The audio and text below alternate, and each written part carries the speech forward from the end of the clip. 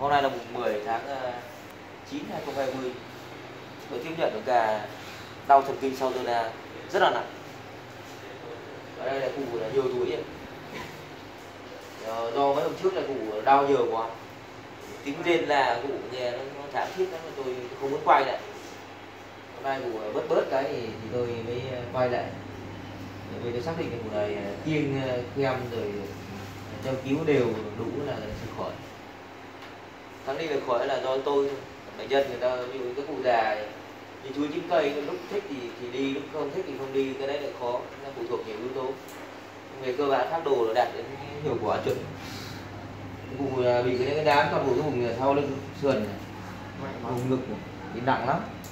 Mà dính dê nó cụ kêu kinh khủng này cụ già cụ bị này là bao lâu rồi chứ? Cụ bị bao lâu rồi? Cụ à, bị cũng à, uh, 6 tháng nay rồi đây nó chữa chạy như thế nào? Ừ, chữa chạy về đi ờ, ở bệnh viện Bạch Mai. Rồi xong rồi đi chữa thuốc ờ, nam ở uh, Na Tiêu Hóa.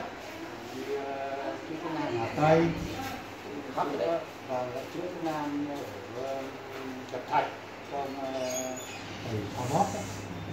Thò Bóp rồi Bóp cho nhiều máu đấy đấy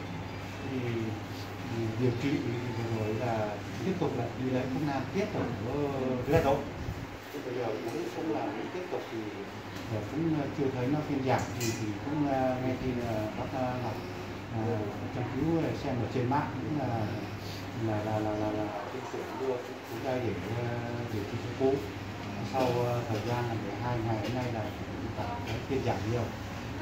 Ờ, đã bao giờ thấy cụ nằm im này không? vâng hôm nay cũng ờ, thấy ờ, tôi là ổn định rồi đây mới là đây mới là người đầu.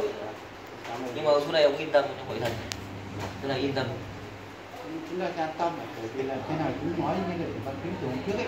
Ra biết ngay từ hôm mà đi điều trị phổi rồi cả tư mà về sớm mà biết ở đây thì nó đỡ vất vả cho cả nhà.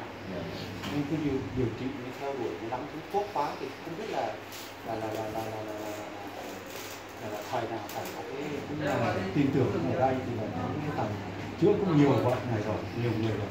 Thế cũng là thôi cũng không đây chữa thì cũng là- hôm nay là 12 ngày thì cảm thấy cũng rất được rồi nhà ở đâu? Sáu bảy năm. Ở thị trấn Thanh Lãng huyện Bình Xuyên. Bình Xuyên có tỉnh Vĩnh Phúc. Và đấy nhỉ quê ờ, trò đấy nhá. Thôi đây đây là cái, cái sự khởi đầu thôi. Dạ, nay cụ làm im cái này là tốt quá.